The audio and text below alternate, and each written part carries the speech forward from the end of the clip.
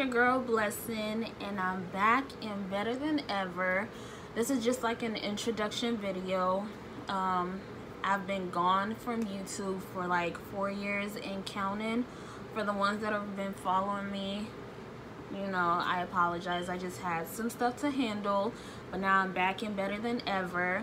So basically this youtube channel is going to be about winning souls for God, which is one of the main reasons that I decided to make this video or to get back on YouTube, as well as nothing on this channel is definitely going to be about negativity. We're not here to judge anyone. It's going to be all about positivity.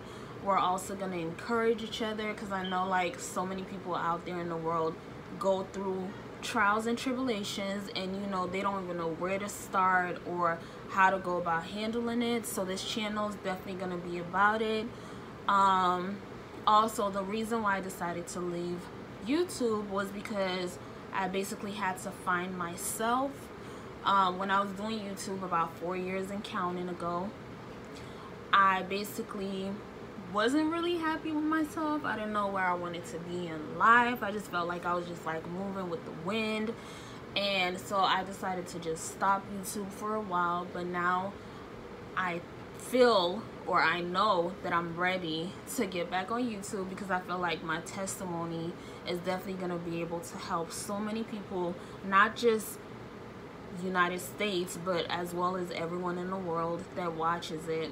So I'm excited guys. I can't wait to start this journey. I'm definitely gonna um, try to post at least once a week.